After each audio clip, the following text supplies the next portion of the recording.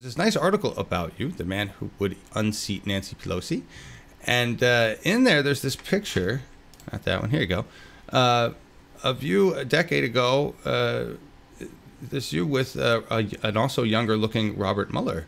Uh, what, why, what were you doing hanging out? What was this all about?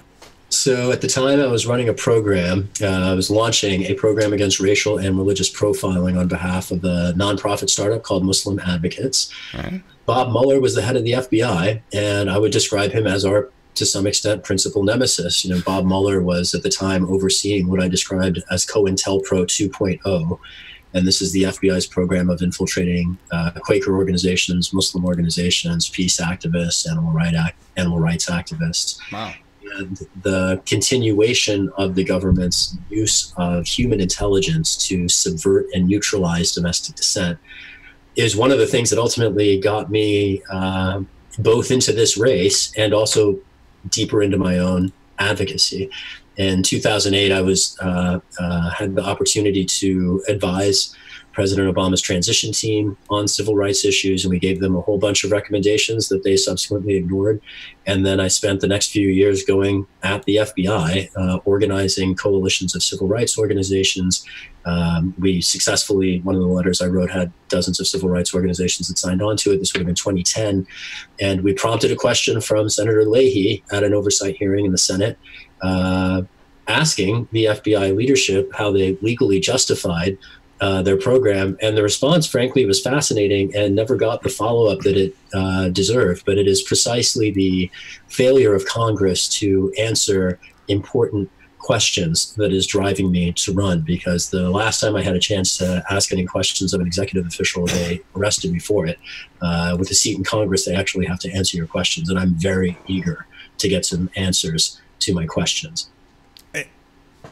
I would like to think so too. But I've watched some of these things. Don't seem to get questions answered even then. It, it I mean, honestly, it seems like it's going to take more than a constitutional lawyer. We need 535 of them. there's, you know what I mean? There's a lot to go in there. There seems to be a very systemic issue with all of Congress not seeming to really feel like it needs to be held accountable to anybody. That's I certainly feeling. agree with your point about accountability, but just to press the case about the because I hear the um, I don't want to say futility, but the resignation perhaps in that view. Yeah. And certainly right that we need the entire chamber for legislation. Okay. But when we talk about answering questions, you know, I'm talking ultimately there about oversight. And yes. oversight doesn't take 530 members. You know, we've seen Ilhan Omar use oversight like in art you know, I haven't seen a member of Congress prove that skilled in leveraging the oversight context to challenge official narratives and spark viral conversations about deep seated issues in our body politic that we haven't had debates about in generations.